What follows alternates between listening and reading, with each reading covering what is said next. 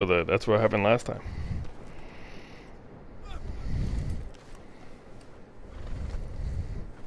With the church right there, the graveyard, dead bodies, it always happens right there. And people look like shit there too. They're all homeless and shit.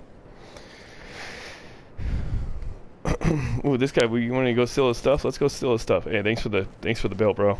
I'll take this.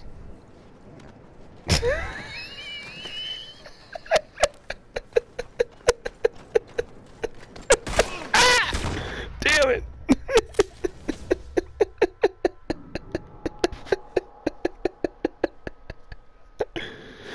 Yeah, but he's probably he has witnesses all over the whole city.